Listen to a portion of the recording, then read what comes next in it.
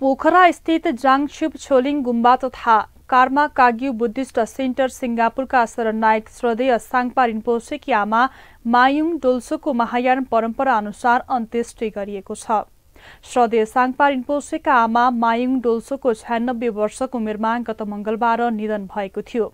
उहाँको अन्त्येष्टिमा दोप्छेन रिन्पोसे लोडो रिन्पोसे साङपा रिन्पोसे सहित उपस्थित लामा गुरूहरूले काठमाडौँ विदेश्वरी घाटमा महायान परम्परा अनुसार चक्र सम्बर मोल्लाम पाठ गरी अन्त्येष्टि गरिएको हो।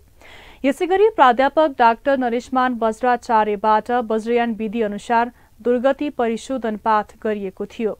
उहाँको अन्त्येष्टिका क्रममा विभिन्न गुम्बाका रिन्पोसे लामा आनी लगायत उपासक उपासिकाहरूको सहभागिता रहेको थियो।